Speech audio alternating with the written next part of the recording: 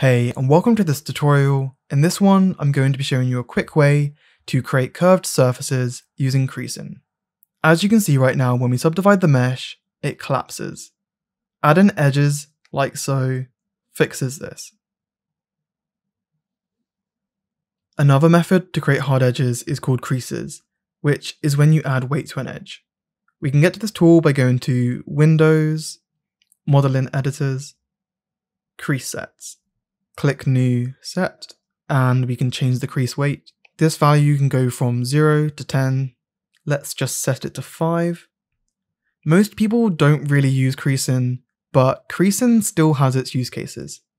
What creasing is really good for is experimenting and concepting.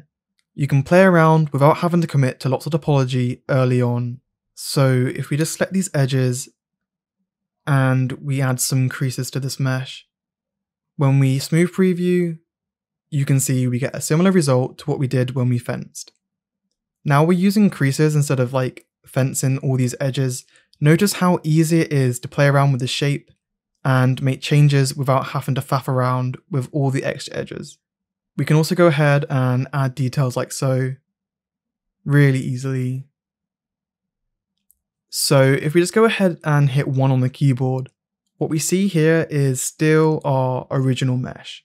To be honest, it's too basic of a shape, as the jump between the subdivided version and the base mesh is too extreme and could cause a bunch of texture distortions once UV unwrapped. So the aim is, is that once we have the shape we like, it's a good idea to subdivide it to add the topology we need. So just go to shift right click down to smooth and one subdivision should be fine for our needs. So now we can just go ahead and remove the creasing and add some fencing to hold the shape.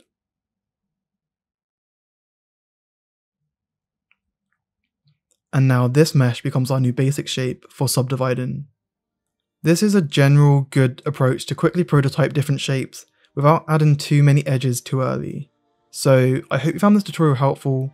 If you did, please consider hitting those like and subscribe buttons Thanks for watching, and I'll see you in the next video.